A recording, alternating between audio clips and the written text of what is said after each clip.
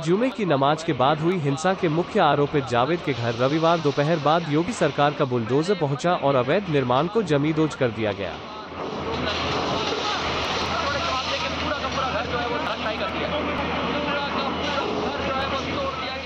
इस दौरान भारी पुलिस बल एवं आरएएफ के साथ पीडीए के अधिकारी मौजूद रहे।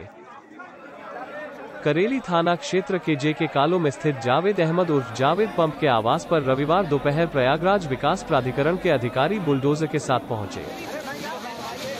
दस्ते ने अनाधिकृत रूप से बनाए गए जावेद के घर को जमीदोज कर दिया।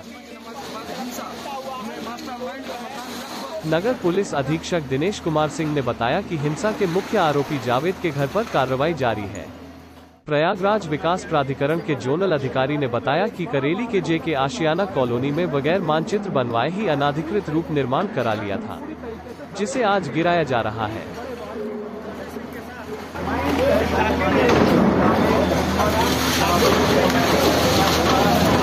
हुआ